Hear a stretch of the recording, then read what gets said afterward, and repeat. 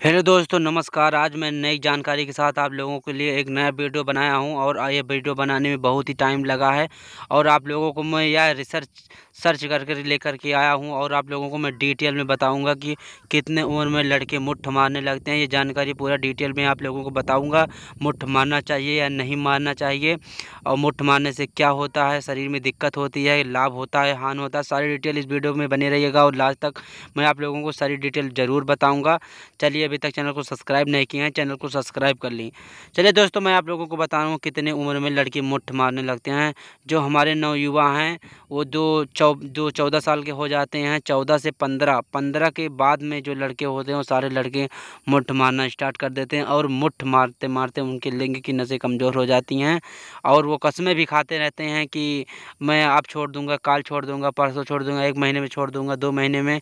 तो दोस्तों, जितनी जल्दी हो सके मुठ मारना बंद कर दीजिए। और ऐसे ही वीडियो पाने के लिए चैनल को सब्सक्राइब कर लें। चलिए मैं दूसरा प्रश्न आप लोगों को यह बताऊँगा कि मुठ मारने से क्या होता है, नुकसान या फ़ायदा? तो दोस्तों, आप लोगों को ये बताऊँगा कि मुठ मारने से आप लोगों को फ़ायदा कभी नहीं होगा, नुकसान ही होगा, क्योंकि आने वाले समय में जब आपका लाइफ पार्टनर आ जाएगा तो आप लोग मुठ मारने की आदत नहीं बंद करेंगे तो आप लोग को जो लाइफ पार्टनर है वो खुश नहीं हो पाएगा और वो आपको छोड़ करके फिर से चला जाएगा। तो आज आप लोग आज आज ही कसम खा लें कि बिल्कुल मुठ नहीं मारेंगे और मुठ मारने से आपके शरीर पर बहुत सारा प्रभाव पड़ेगा।